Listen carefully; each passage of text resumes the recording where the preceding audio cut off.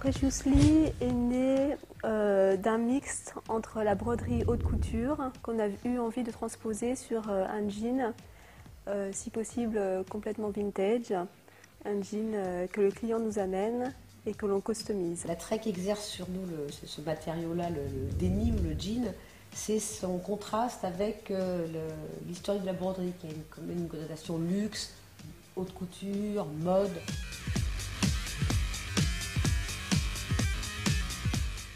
Nos clients sont internationaux. Euh, pour l'instant, on a beaucoup travaillé avec euh, les Européens et euh, on remarque que ce n'est pas tellement par rapport à un pays qu'on va développer un jean, mais plutôt par rapport à la personnalité du client. Ce sont soit des célébrités, soit juste des gens, parfois très gâtés.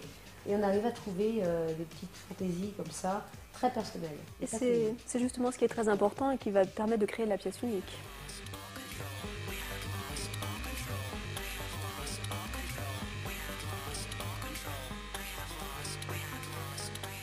Celui-ci, l'inspiration, euh, c'est Basquiat. On a beaucoup regardé les, les, peintures, en fait, les, les, presque les plus soft de Basquiat, avec plein plein de petites choses, plein d'annotations. C'est un peu le, jean qui fait la genèse de Precious Lee, qui raconte un petit peu euh, son histoire, l'histoire de comment est fait ce jean. Tout le monde a un jean, tout le monde a un jean qu'il adore. Euh, même s'il a 10 ans, on adore son vieux jean et je pense qu'on a peut-être envie de le garder toute une vie.